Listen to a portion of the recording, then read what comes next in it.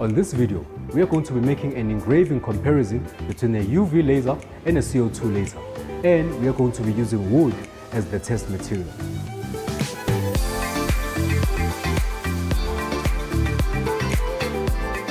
Now what we are trying to achieve is the same result as close as possible on both machines so we can make a true comparison.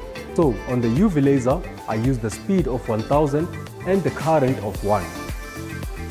Then on the CO2 laser, I use the speed of 1400 and power 20%. We should get the same result from these two. Now, I use the slightly higher speed on the CO2 laser because it has more power hands down as compared to the UV laser. So let's watch the comparison side by side in real time.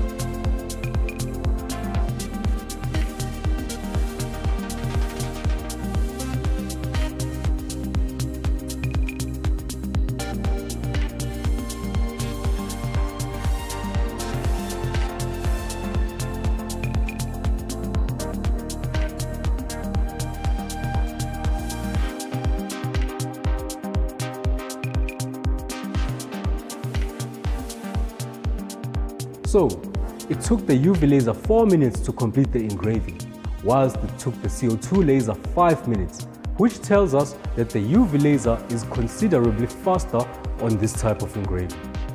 In terms of the final product, the UV laser has a slight advantage over the CO2 laser as it's able to achieve much finer detail.